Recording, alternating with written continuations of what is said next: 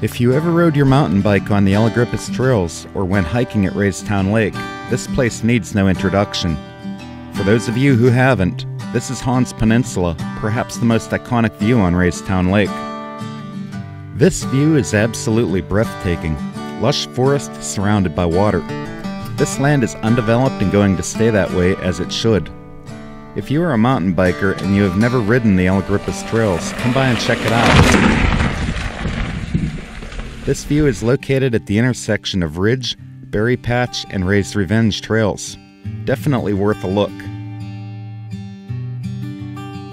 If you're not a mountain biker, this peninsula can be seen from the opposite side of the lake from Hawn's Overlook, named very appropriately. Also adjacent to Hawn's Overlook is Ridenour Overlook, which is a pretty awesome view as well. Ridenour Overlook was historically the first park constructed at Raystown Lake, which gave visitors a view of the dam's construction. Today it still gives visitors a bird's eye view of the actual dam breast.